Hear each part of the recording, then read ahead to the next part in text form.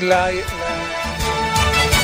Bueno, y continuamos con más información. Gracias a nuestra compañera Nirvana. De inmediato hasta la Maxi con Denis Andino. Ha finalizado la reunión de cooperantes de la Maxi. Denis, adelante. Y es por eso que se va, no es porque la estén, desde luego, pues orillando a renunciar, no. Ella es la que manifestó esta situación de una manera personal. Su intención de irse del país por asuntos realmente personales o por presión. Pues eso fue lo que nos dijo. Más allá no puedo yo comentarles porque son cuestiones de carácter personal que no me atañen a mí. Pero me da mucho gusto. que haya dado del por qué renunció aparte de que No, no, no, ella hizo su exposición muy amplia, ella hizo su exposición muy puntual, cosa que recogieron todos. El ministro Valdíez en este momento también sale de esta reunión, como lo anticipamos. Eh, bueno, se marcha sin eh, brindar eh, declaraciones el señor Valdías, que son los que están pendientes acá en esta reunión de los cooperantes, como se los manifestamos. Vamos a también escuchar a los representantes del Congreso Nacional, a don Yaved Savillón, quien es el Frente Parlamentario. Don Yaved, ¿cuál es su opinión en esta reunión? Bueno, mire, la reunión fue una reunión muy productiva, la cooperación a grandes rasgos. Eh, no puedo dar detalles porque eso se nos pidió en esta reunión, pero sí les puedo decir que la, el G16, los diferentes embajadores han puesto eh, su punto de vista muy claro, que el convenio de la MASI debe de seguir tal como está.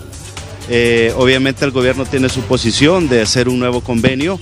Eh, se explicó claramente de que no, al menos nosotros como parte de sociedad civil y congresistas eh, que apoyamos a la MASI, recuerde que 54 congresistas votamos a favor y 71 votaron en contra y 13 eh, se abstuvieron.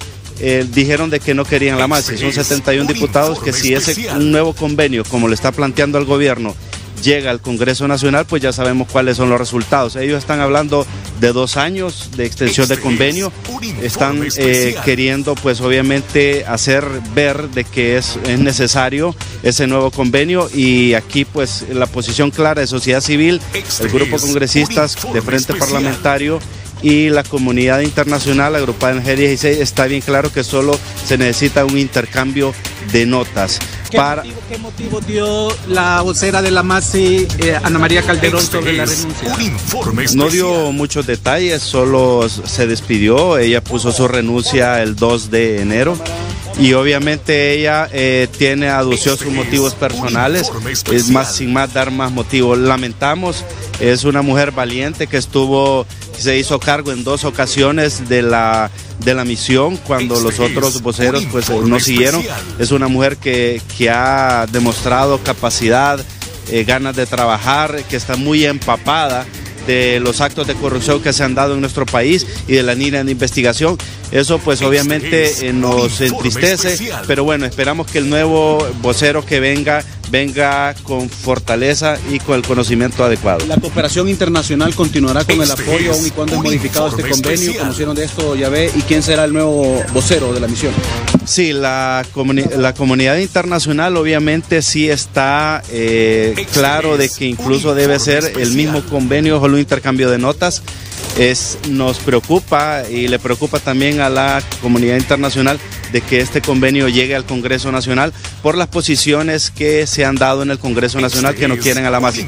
Recuerde que más del 50% de los diputados que están en el Congreso Nacional están siendo investigados y hay líneas de investigación muy avanzadas y obviamente eso nos preocupa, nos preocupa eh, como sociedad civil, como diputados que estamos en contra de la corrupción, nos preocupa porque muchos de los que van a votar en ese nuevo convenio, si llega al Congreso Nacional, sabemos cuál es su posición porque están líneas de investigación bastante avanzadas. Y esto vence el próximo 19 de enero, diputados, ¿se dieron avances de cómo va este convenio o está entrampado?